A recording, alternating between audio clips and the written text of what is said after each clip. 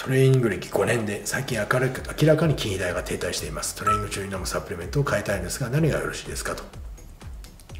まあ俗に言うプラトーですかね。トレーニング歴5年ということでまあ中級者に達した時ね一つステップアップしたいトレーニング中に飲むサプリメント。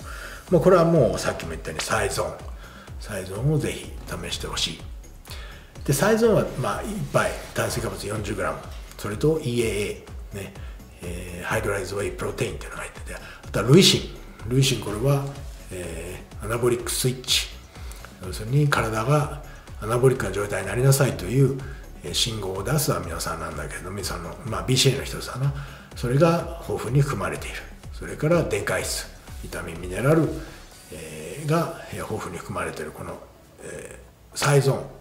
俺はトレーニング中絶対おすすめなんだけれどもまあ、サイゾーントレ炭水化物 40g 入って、まあ、調整中でちょっとこの 40g 増やしたい増やすあんまり増やしたくないなという場合はトレーニング中に EA であるとかね。EA を各種、まあ、ボディコレでも扱ってるのプルブン EA ギャスパリのプルブン EA とかあとは、えー、今ね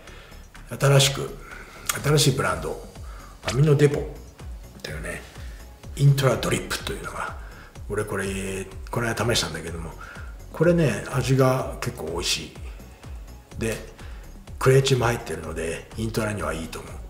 でこれねまあこの人が言ってるように、まあ、中級者でややちょっと効果に頭打ちトレーニングの効果が、まあ、頭打ちになってるよという場合2スクープまで俺は取っていいと思うねトレーニング中に。